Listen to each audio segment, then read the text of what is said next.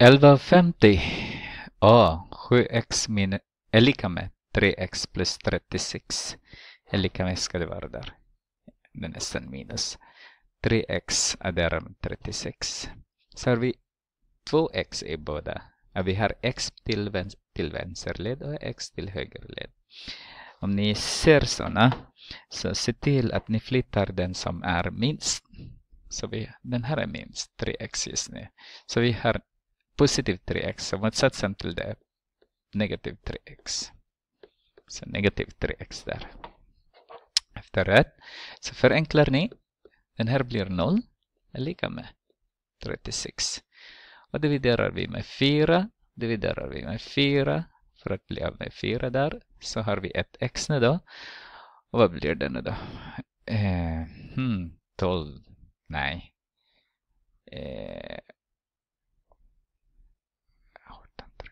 9 ska det vara. B. Nu är vi B. 7 minus 75 är lika med 6x. Som ni ser, vi har igen x i höger vänsterled och högerled. Och då, vi ska flytta den minst. Just nu är det här som är minst. Så vi har positiv x, negativ x, motsatsen, negativ x. Så har vi 5x på ena sida, eller högerled, och vi har negativ 75x på vänsterled. Vi vill bli av med, uh, okej, okay.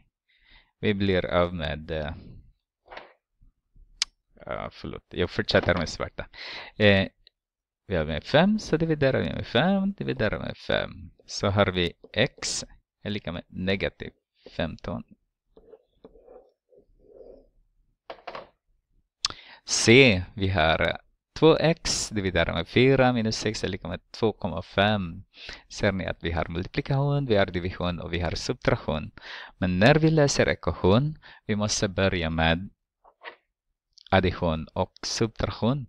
Och det här fallet, vi har negativ 6, så motsatsen till det, positiv 6, positiv 6. Så har vi 8,5. Aha, som sagt. Vi ska göra, inte göra samma misstag. Så har vi 8 5 där. Den här blir 0. Här har vi 2x dividerat med 4.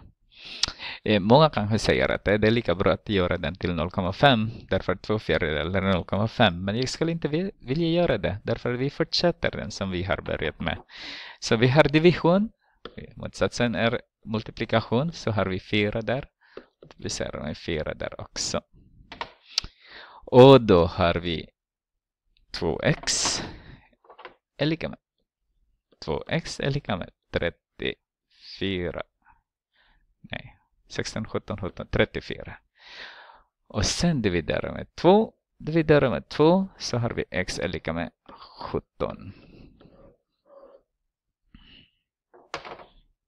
D. 17 minus 3x är lika med 5. Jag kan flytta lite där så att det blir inte. Så eh, då har vi positiv 17 och positiv 5 på höger led.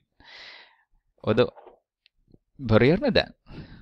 Negativ 17 är motsatsen, negativ 17 är motsatsen.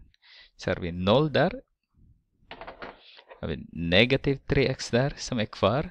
Så har vi negativ 12 där som är kvar. Och sen ni har negativ. Eh, målet är bara positiv 1x. Så jag måste se till att jag får positiv. Så dividerar jag det med negativ också. Negativ 3. Så har vi 4. Kom ihåg att målet hela tiden är positiv 1x, inget negativ.